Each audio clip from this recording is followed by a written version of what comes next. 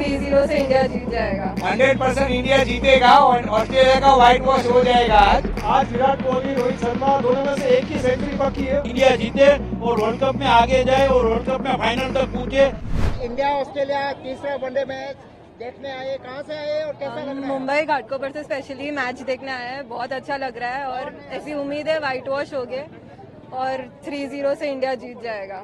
कौन सा player favourite है आपका? विराट कोहली हार्दिक पांड्या।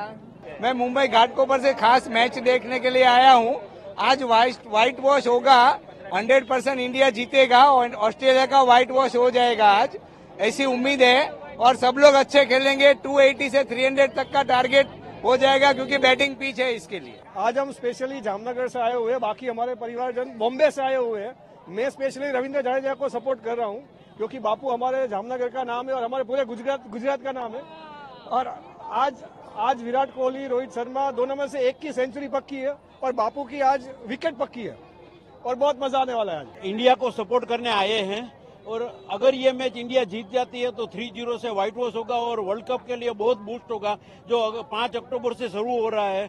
तो इंडिया को वर्ल्ड कप के लिए ये ऑस्ट्रेलिया जिस- टीम को हराना थ्री ज़ीरो से व्हाइट वॉश करना बहुत बूस्टर मिलेगा। तो इसीलिए मैं होप करता हूँ कि आज इंडिया जीते और वर्ल्ड कप में आगे जाए और वर्ल्ड कप में फाइनल तक पहुँचे और अहमदाबाद में ट्रॉफी उचके और उसके हाथ में हो।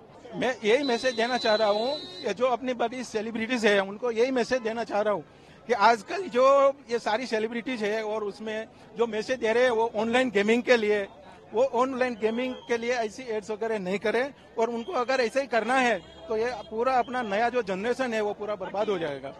तो उनसे ये मैसेज देना चाह रहा हूँ, अगर आप, अगर ऐसा ही है तो आप कुछ अच्छे मैसेज दीजिए, जिससे आने वाले भारत के भविष्य में उनका जो जनरेशन है, उनका भविष्य अच्छा हो।